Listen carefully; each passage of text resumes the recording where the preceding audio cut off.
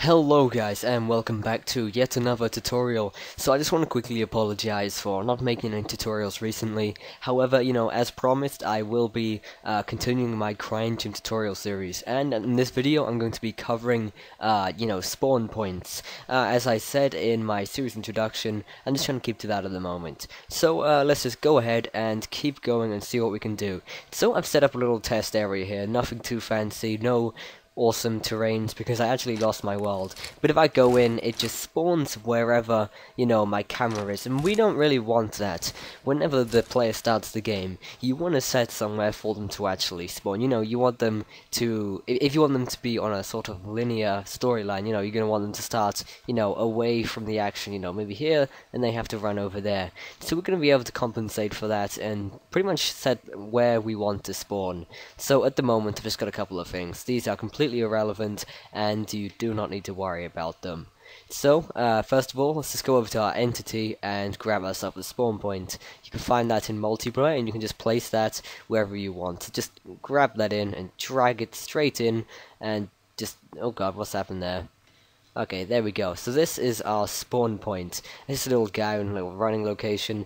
And if we just press Control G now, you'll notice nothing's happened. I didn't actually spawn there. I'm just going to go over here just to get a better view of that. And as you can see, absolutely nothing happened and it's completely pointless. So what we need to do is, we need to go into the flow graph and actually set up some commands to tell it how to work. So first of all, to get a flow graph, as you know, we need a container for that. So let's just quickly select this uh, spawn point, if I can. Bloody things getting in my way. What's going on here? Herp derp. Uh, give me a moment. Okay, sorry about that, I kinda messed up. I forgot that I gotta click this little bit down here whenever selecting it. So keep that in mind, because if you just press the yellow bit, or uh, it's not always gonna work. So make sure you just click this. So once you've done that, just go ahead and right click, and go to create flow graph. You can name this whatever you want. I'm just going to name this uh, spawn point for the time being, and we now have our flow graph. So I'm just going to quickly expand this a little bit, and some of you probably going to be wondering, what on earth am I going to do here?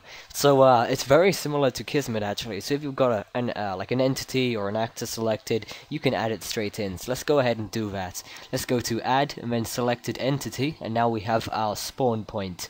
Uh, keep this in mind that if you do have numerous spawn points, you can see, uh, you know, they're going to have different values. Well, well, IDs. But yeah. So, we've got a spawn point in here now, so how are we going to know what to do with that? You can see we've got a few different things, disable, enable, and spawn. What we really want to use right now is spawn, because we're going to be telling our player to spawn there, as you probably guessed. So let's just go in and add a new start node. A start node is used for when, you know, player spawn or level loaded event, if you're familiar with Kismet. So we've got that now, and you know, we've got in editor, uh, in game. So let's just go ahead and drag the output over to spawn and it should work now uh, you don't really need to worry about in-game and in-editor at the moment just completely ignore that I'm just going to drag this to the side and you're going to see if I go over here press Control G, it's actually moved me over to the spawn point. Uh, sometimes it may not work straight away, so you may want to just generate, or, or you may just want to generate all AI, AI just to make sure that's working, and it should work perfectly. So um, that's pretty much all I really wanted to cover. I tried to experiment around a whole bunch of different things, such as uh, you know forcing AI to spawn spawn points, uh, you know, going into vehicles. There's loads and loads you can actually do with spawn points. So uh, thanks for watching, comment, like, and subscribe, and I will see you in the next video. Goodbye.